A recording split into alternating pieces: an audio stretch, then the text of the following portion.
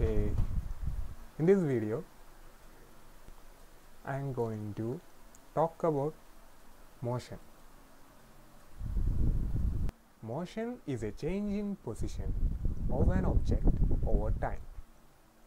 That means if the position of an object changes with respect to time, then we can say the object is in motion. As shown in this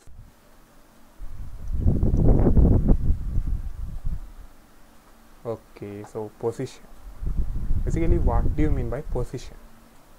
I'll explain. Reference point. Or origin known as o. And let the location of the object be at this point. That is a. Now the position of this object a with respect to the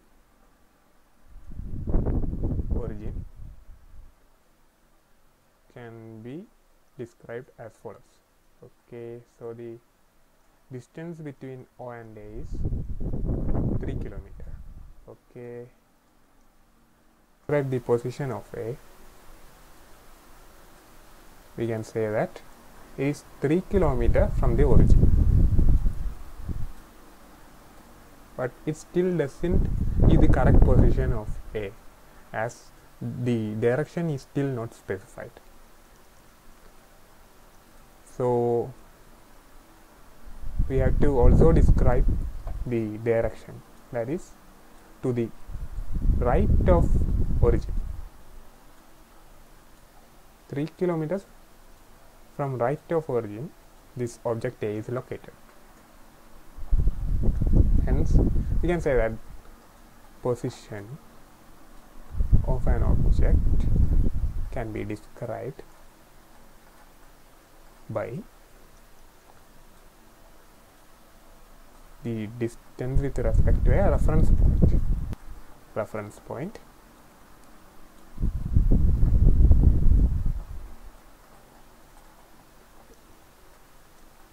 and also the direction that has to be traversed from the reference point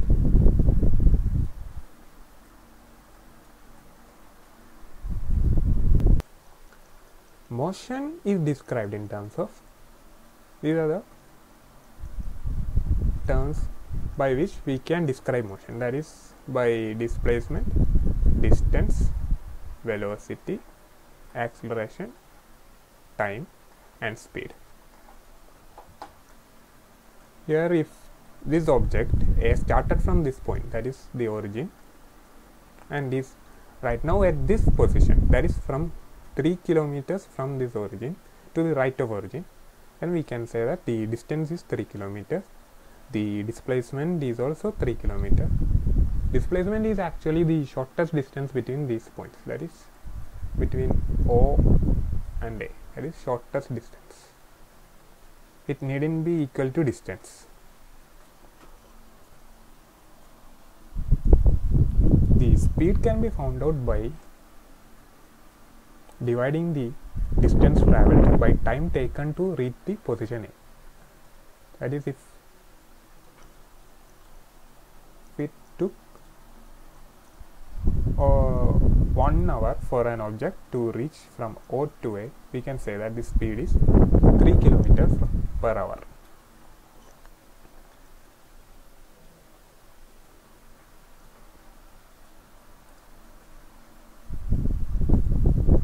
Okay in physics measurable quantities can be divided into vector and scalar. Scalar quantities are measured only has got magnitude. Magnitude while a vector quantity is measured with respect to magnitude as well as direction.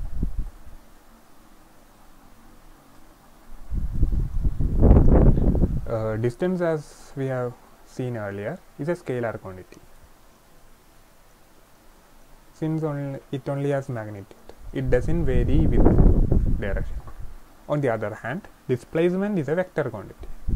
for example this is origin at first the object is at this position then it goes to this position that is point A which is located about 2 kilometers from O then it goes to point B which is located at 1 kilometer from O. When you consider the total distance traveled, the total distance traveled will be 2 kilometers up to here, then 1 kilometer backward, that is 3 kilometers total. But when you consider displacement, it is only 1 kilometer. Only 1 kilometer is the displacement. It is the shortest distance between the origin point and the final point. Now speed. Already I have told that speed is the distance traveled per unit time. It is how fast an object is moving. Speed is a scalar quantity. That is, it only has got magnitude.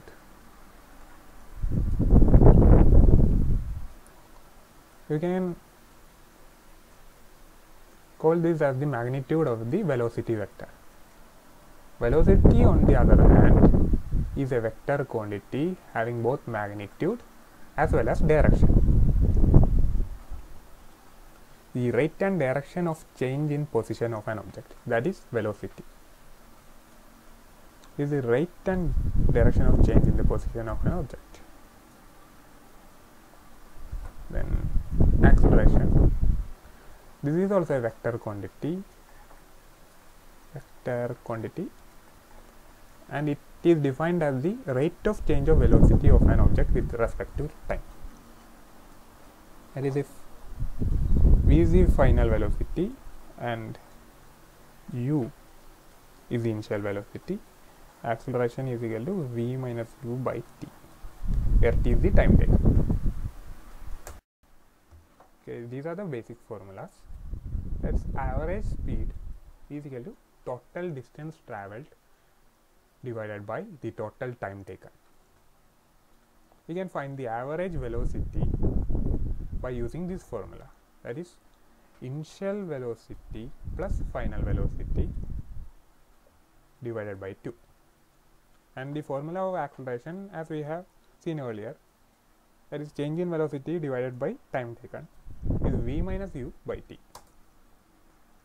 Now uniform motion and non-uniform motion. Motion can be divided into two types based on the rate of change of distance with respect to time. If the rate of change of distance with respect to time is equal for equal intervals then we can say that the object is in uniform motion. That is it that is if distance is directly proportional to time as shown in this distance time graph. Distance and time. Here it is shown by a straight line passing through the origin. This is for uniform motion. This is uniform motion. On the other hand the case of non-uniform motion the rate of change of distance with respect to time is unequal we can see here. Here delta t delta d. T1 delta t1 here it is. Delta d2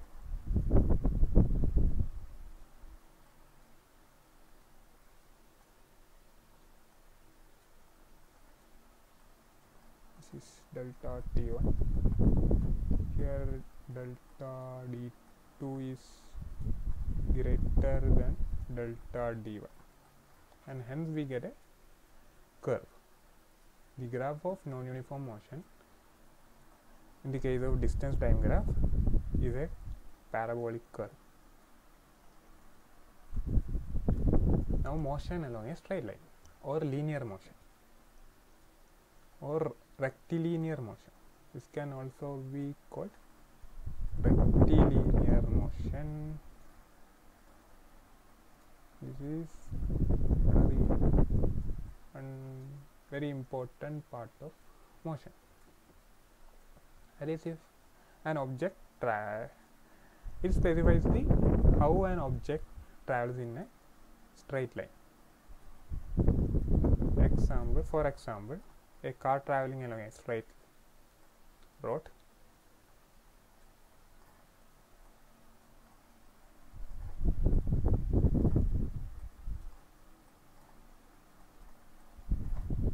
from point A to B. This is linear motion.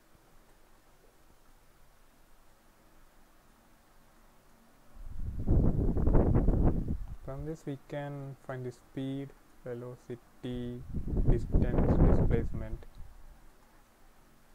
by the earlier mentioned formulas. Okay. Now these are the equations of motion with respect to this linear motion. The first equation of motion is v is equal to u plus at where v is the final velocity u is the initial velocity a is the acceleration and t is the time taken second equation of motion for linear motion is s is equal to ut plus half at square where s is the distance traveled u is the initial velocity t is the time taken and a is the acceleration the third equation of motion is 2as is equal to v square minus u square. These equations can be used to describe the motion of the body. And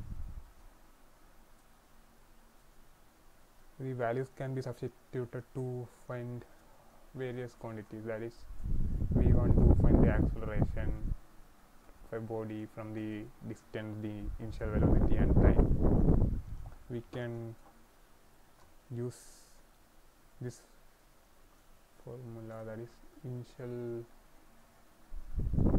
acceleration is equal to v square minus u square by 2s so by using this equation it is possible to find the acceleration the final velocity the initial velocity etc based on the values given. Okay? Now the final slide is about uniform circular motion. Uniform circular motion can be described as the motion of an object in a circle at a constant speed. As shown in this figure this car is at a constant speed it is going in this circular path its direction is constantly changing. The object is moving tangential to the circle that is the motion is always tangential to the circle.